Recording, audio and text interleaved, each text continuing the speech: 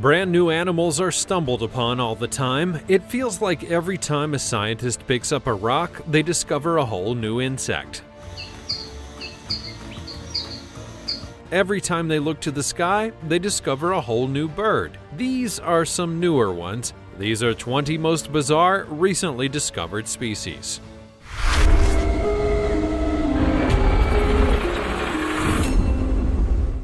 Number 20.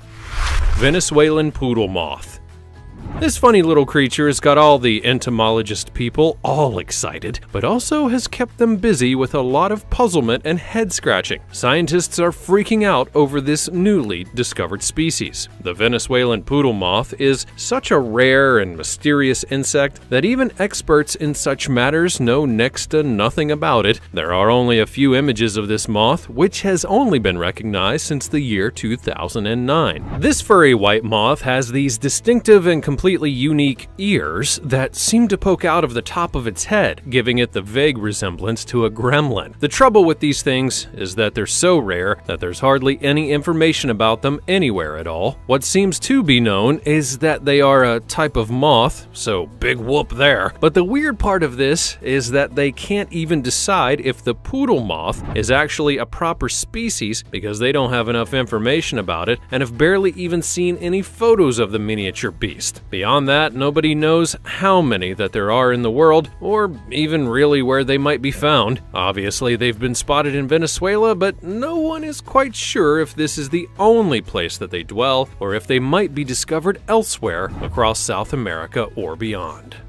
Before we go on, like this video, smash the subscribe button, and click the notification bell right now, or this centipede will crawl on your face when you're sleeping. Now it's time for the sweet topic. Scientists are freaking out over this newly discovered species. The image was taken in China, and we've never seen a fish like this, and as it happens, neither had the experts who analyzed it. Given its mutated look, many think that it may actually be the result of an experiment and not natural at all. But what do you think? As always, let us know your thoughts in the comments section down below using the hashtag SweetTopic. Number 19. Mindoro Fanged Frog these newly discovered species may be just recently noticed by humans, but the chances are that they've actually been hopping about under our noses for donkey's years. However, the human power of perception, it's sometimes not as sharp as we would like to think that it is. That's literally what these frogs have been doing. They've been hiding in plain sight for a bazillion years or more, but because they bear such a striking resemblance to their cousins, the acanth's fanged frog, it seems that nobody noticed that they existed at all. The Mindoro fanged frog was discovered only recently, although the odds are that this little creature has been there the whole time and nobody has named it. So therefore it didn't count as having existed yet, but that's how it goes. Fanged frogs are, in general, a slightly bizarre kind of frog because they have extra large teeth, which are not present in other sorts of frogs, and there are in total approximately 75 different species of these fanged frogs. But really, maybe there are a whole ton more that we just haven't noticed yet. Who could possibly say? Number 18. A new wasp species. Oh, well, that's just great, isn't it? Just what we all need. A new species of the worst of all the stinging stuff. Shiny new wasps. Oh well, alright. These ones are apparently super tiny and they don't even sting. Call yourself a wasp, do you? Anyways, as thrilling as this all is, I should probably tell you a little bit about them for the sake of propriety. I mean, it's as dull as a dishwater, but here we are again, so let's get on with it. These wasps are just one teeny weeny millimeter long, and they don't sting. They were discovered by a bunch of biologists in Texas near a graduate student pub that's apparently called Valhalla. Rather grandiose for a crappy student dive, but whatever. Anyways, these Rice University types named the new species Neuroterus Valhalla as a result. And that's as about as interesting as it gets. Number 17. The Central African Slender Snouted Crocodile. Oh good, finally an animal that we can all get excited about a crocodile. And who doesn't love a good bitey reptile? This is actually the story of the critically endangered slender snouted crocodile. It turns out that this is not just the one creature that's on the verge of extinction, but it's actually two species of lovely crocodiles that may be disappearing from our planet. And that fully sucks. There are West African versions of these sorts of crocodiles, and then there are also those who happen to be the Central African ones, which as it turns out are actually a different species altogether.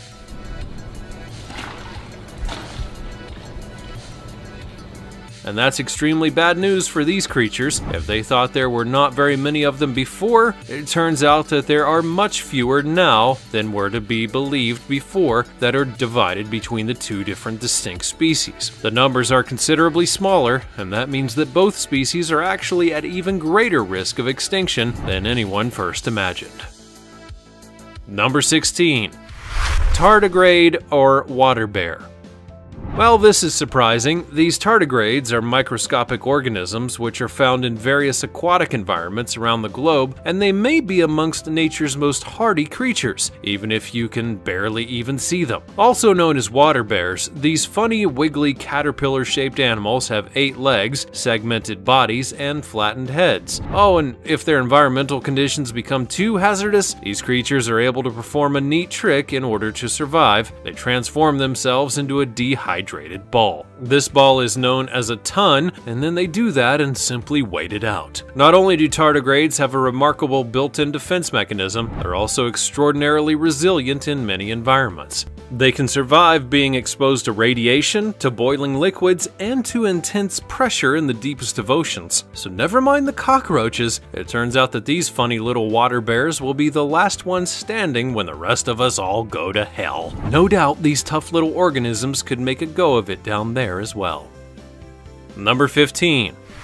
Pink Elephant now, if you're seeing pink elephants, you should probably put away the cooking sherry. Except if you happen to be in the Mala Mala Private Game Reserve in South Africa. Then you might still be on the right side of pie-eyed. They've recently had a very rare albino elephant born in amongst their herds. These pink elephants, or albino elephants, are so incredibly rare amongst African elephants that there's very little that's been documented about them, and as far as this particular baby elephant is concerned, people have not been able to discern whether it's a true albino or whether the pink coloring is the result of leucism.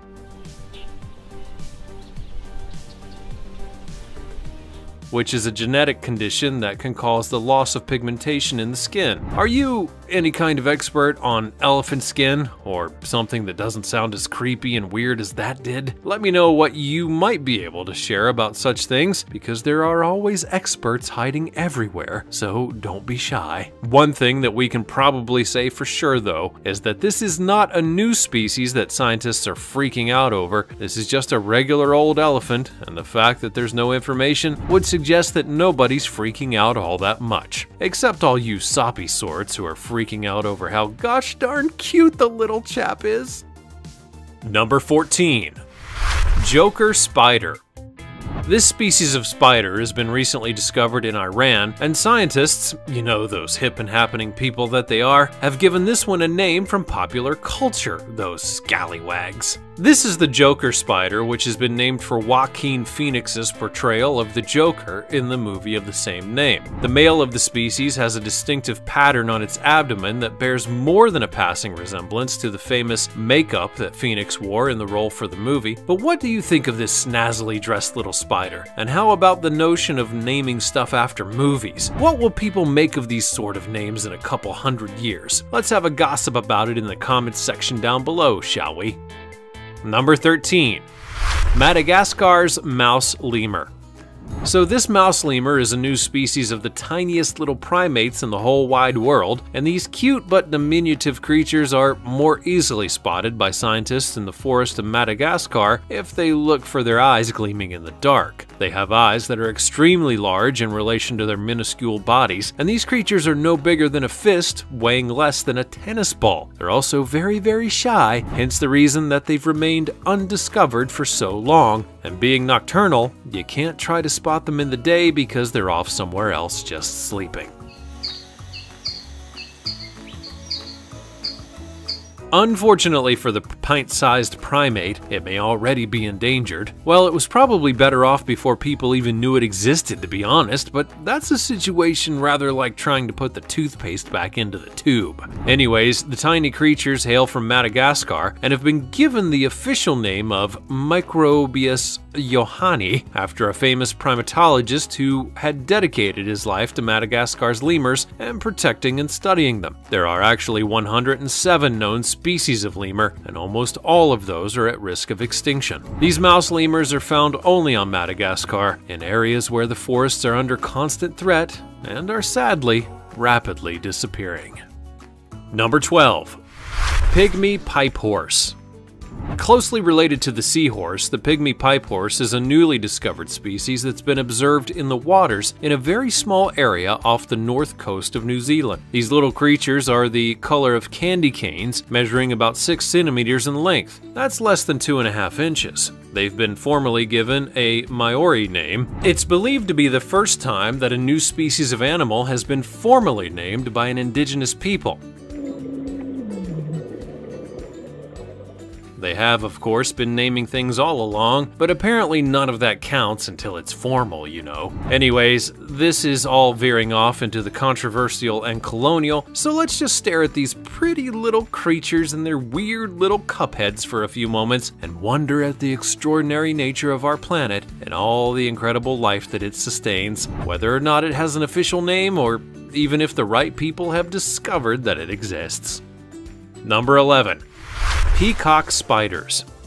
Australia sure does have a whole lot of spiders. In fact, they've basically got all the spiders, especially the most bitey and poisonous and murderous sorts. So the discovery of yet another species of spider is not all that surprising, to be honest, but here we are. This time around, we're looking at a species of peacock spider, a member of the Maratus genus, which now has at least 92 members of species amongst its numbers. This one is rather snazzy in its bright orange stripes, and it has a bit of a look of the clownfish about it, so that's nice for fans of Finding Nemo who want a little bit of Disney action in their scary spider. For this reason, the species has been dubbed the Maratus Nemo, and up close, its multiple green eyes and hairy legs give it a less of a Disney appeal and more of a swamp thing sort of toxic waste mutant vibe. But hey, what do I know about naming species? I've just heard about this one myself. It could probably be fake. But apparently Australia has so many flipping species and so much space filled with natural stuff that it's estimated that only about 30% of its biodiversity has actually been officially documented. This means that there may be loads of species out there that nobody's even heard of, and they're going to need names.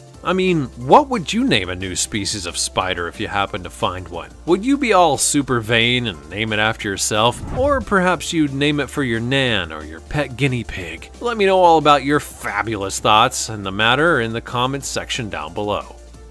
Number 10. The Tapanuli Orangutan Sometimes it takes a really, really long time for scientists to figure out if a species is actually different from others that look the same, or if it's just another of the same kind or something like that. All this species naming malarkey seems to be fraught with confusion and quite a lot of surprisingly made up stuff, so who can possibly say just how it's supposed to be done? Anyways, this is the story of the Tapanuli orangutan, which is, it has been officially decided, a different species from the other sorts of orangutans that exist. Well, that's a double-edged sword given the endangered difficulties that these animals find themselves in the midst of dealing with right now. It would take scientists years to research the Tapanuli orangutan to examine its genetic, physical, and behavioral differences, all before they decided that it was actually a different species from the Sumatran and Bornean orangutans. And yes, those ones are extremely at risk, even as they were essentially celebrating the so-called discovery of a new species, those same scientists were warning that they were in grave danger of extinction, specifically as they exist only in a small area which is apparently currently under the threat of deforestation from the construction of a hydropower dam that's due to be placed right on top of the sole remaining habitat for this ape. And of course, that would likely threaten their existence completely, and that would be a damn shame. Number 9. Deep Sea Lizardfish Ugh, this one's a little bit of a creepster, but then again, most of the deep sea dwelling sorts of creatures, they're not exactly oil paintings, are they? I mean, for the most part, they have not even evolved to be beautiful, mostly on the account of the fact that they live in total darkness. So this particular deep sea inhabitant has been recently discovered. It's a deep sea lizardfish dwelling deep down at about 800 feet below the surface. It's been accused of being menacingly the National Geographic, and others have said that it will give you nightmares. Well, whatever. It does happen to have some interesting features though, if you happen to like that sort of thing. These lizardfish have a very large mouth which contains hinged teeth, which basically means that anything that's unlucky enough to find itself inside of that mouth is not going to be getting out again. The more it might struggle, the further into the gross, creepy mouth it's going to end up. But even if it's not a great beauty, the creature is certainly well adapted to its habitat at the bottom of the deep, dark Australian abyss in the middle of the ocean. And it's probably just the tip of the iceberg when it comes to all that deep sea life that we've yet to find out about, and that's pretty cool, really. Number 8. Albino Sea Turtle a baby sea turtle is turned up on a beach in South Carolina, which is, you know, usually no big deal, except that this one's white all over instead of the standard turtley shades of greeny brown. Apparently, this is not actually a new species. I mean, like, duh. It's simply a sea turtle with a different sort of coloring. This is apparently caused by leucism, which is a condition that reduces the pigmentation in animals, a bit like that pink elephant that we were looking at earlier. And while it is cute, that reduction in pigment might make this little animal more vulnerable simply by making it more visible to predators or from the harsh rays of the sun. Anyways, it certainly is cute, like all baby sea turtles. I mean, just look at them all tumbling down the beach towards the ocean. It's impossible not to feel full of joy just witnessing such a moment, let alone the super rare addition of a little completely white sea turtle in the mix as well. How lucky us. Number 7.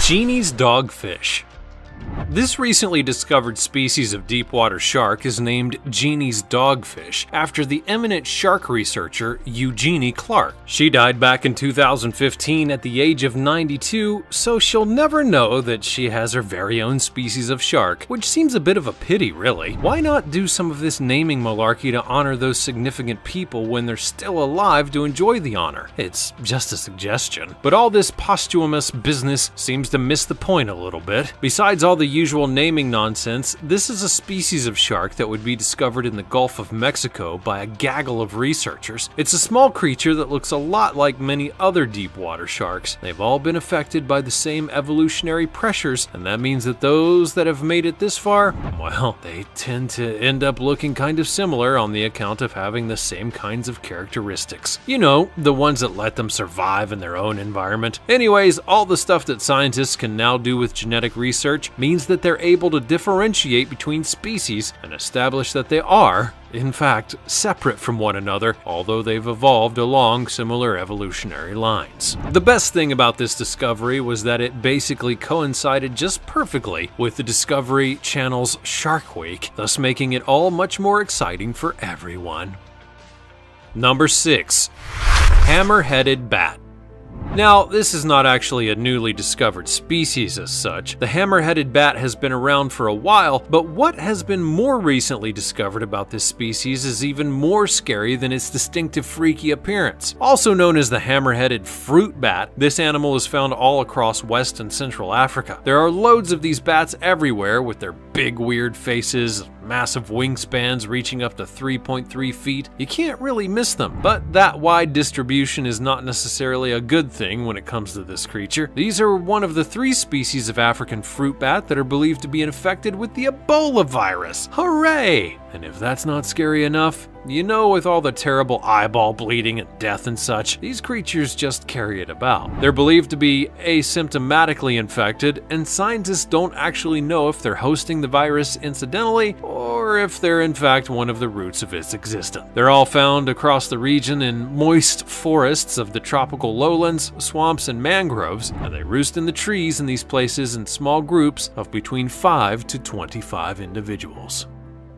Number 5. Easter Egg Weevil Just how interesting the discovery of a new species of weevil is, well, that's probably more of a matter of personal taste. But if you've ever discovered a weevil in your food cupboard, then you probably won't be amongst those that are welcoming this discovery with enormous enthusiasm. Unless, of course, that happens to be your particular thing, in which case you'll find no judgment here. Found in the damp and densely leafy canopies of the forests of the Philippines, these weevils have been recently discovered and given all the shiny new credentials of a species in their own right, which also includes their very own name. These insects are kind of cool looking, and unlike most most other boring, plain colored weevils. These bugs have snazzy patterns all across their bodies, which are combinations of iridescent greens and yellows. The patterns on these weevils have been said to share some similarities with the indigenous Obu Manuvu tribe, and so they've received a name that honors that. They're officially called something really huge that I'm not even going to attempt to pronounce. But otherwise, they're generally known as Easter egg weevils on account of their especially brightly colored and patterned wrapping. Number 4. Millipede. Now here's a fact that's going to shock you to your very core. Most millipedes, well, they're not really millipedes. It's a shocker, I know, but all species of millipede up to this point have not actually had 1,000 legs, as we've been led to believe this whole entire time. I mean, who the heck even knew? I never thought to count them, did you? But anyways, it turns out that we've all been duped by this so-called fact all along. But now, finally, there's a genuine true millipede out there, one that actually has more than 1,000 legs. In fact, the new species of Persephone millipede has 1,306 legs to be precise. These millipedes have been found dwelling deep underground, over 200 feet down, which is why we've never noticed them before in the wilds of Australia, because where else? The scientists who discovered it and somehow managed to convince it to stay still long enough to count all of its legs decided to name it after Persephone, the Greek goddess and queen of the underworld, presumably on the account of this bug living way, way down under the earth. Not only is this the true millipede, it also is a creature with the most legs on the whole planet Earth, at least as far as we know at this point in time anyways. And even though the biggest one that they found was only 4 inches in length, she still had loads more legs than the next leggiest creature, a millipede from Silicon Valley in California which had a feeble 750. Pfft, I scoff at your previous millipeding efforts. Number 3. Wakanda fish. Well, it does make sense that stuff from popular culture makes its way into the naming of species and such. Scientists are nerds, and nerds love comic books, and Marvel movies, and all of that stuff. I mean, there's, there's nothing wrong with any of that. It's all perfectly acceptable, right? One of the latest discoveries has been likened to the Warriors of Wakanda from Black Panther. At 260 feet below the surface of the water, scientists have discovered a fish that's patterned with scales of deep purple. Scientists were on a project out in the California Academy of Sciences known as the Hope for Reefs Initiative, which is focused on researching and restoring the coral reef systems of the world. They were found living in the dark coral reefs that are known as the Twilight Zone in the Indian Ocean off the coast of Tanzania. Also called fairy Pheraeoracis, these Wakanda fish had never even been seen before. They do live below three limits for recreational diving at depths between 200 and 500 feet below the surface, you know, but these previously undiscovered fish have absolutely captivated everyone who's witnessed them ever since. What else might be hiding down in the Twilight Zone? Number 2. A new mosasaur. Well, this one's just a teeny weeny bit misleading these quote unquote newly discovered creatures actually lived millions of years ago. They haven't just been unearthed in Basingstoke living in Steve and Linda's hot tub or anything as exciting as that. But here we go anyways. Why not mix it up a little bit? Dead for millions of years? Newly discovered? It's the same difference really, isn't it? The so-called new species of mosasaur would be found swimming in the oceans of the Earth way back between 72 and 66 million years ago, and it was not unlike our contemporary contemporary ones, with their long and narrow snout and rows of teeth, these are relatives of crocodiles and alligators, and therefore amongst the best animals that there have ever been naturally. It turns out that these particular species of mosasaurs were alive at a time when the planet had sort of accidentally outdone itself. There were so many creatures in the waters of the world that they were literally suffering from overcrowding. This was a time when there were so many massive creatures living out in the sea that they were all in competition for food with each other. This is why a lot of the so-called mega predators died out. There were simply too many of them for it to be sustainable. There was not enough food, space, or even resources for this many enormous hungry creatures. The new mosasaur, with its long and characteristic snout, seems to have been adapted to a specific kind of predation within the ecosystem. Scientists believe that these creatures were relatively adaptable and could choose different sorts of prey depending on what was more readily available. But they've still been dead an awfully long time to be considered a new anything, you know. Number 1. Mata Mata Turtle the Mata Mata turtle is a resident of South America. It's an unusual looking sort of creature with an especially knobby shell and large flat head and a wide mouth with a long snout. The Mata shell is what makes this chap stand out from the crowd. It's large and gnarly with a big spherical cone-shaped knobbles poking out of it. This poor old turtle is no oil painting. Its neck is flat and wide, covered with warts and bumpy skin. It has a triangular shaped squashed head and a long snout that it uses as a snorkel snorkel. They have eyes on the sides of their weird heads, but they have very poor vision, using instead their fleshy flaps on the sides of their heads to sense movements in the water. They can feel vibrations that may warn them of a predator nearby, and they also have extremely sensitive hearing. What a lot of weird and wonderful discoveries. What did you think of all these new and unusual creatures? And do you wish that any of the creatures had remained undiscovered? What else do you think could be out there? As always, let me know all your splendid thoughts in the comment section down below. I know you want to. Also, be sure to check out the other cool stuff that's showing up on the screen, and I'll see you next time.